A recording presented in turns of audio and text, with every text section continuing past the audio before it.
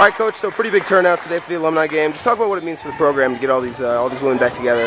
Yeah, we, have got a much better turnout this year. We've really worked hard over these last couple years to try to connect with you know the alums. It's hard when you come in as a new coach and you haven't coached any of these players. Uh, Sarah Benz is the only player out there right now that, that our coaching staff coached. So it's really rewarding to see all the players that played for both Pam Tanner, Tracy Sheehan, all back through back through the years, uh, coming out here and just connecting and enjoying playing with each other and, and supporting our team too.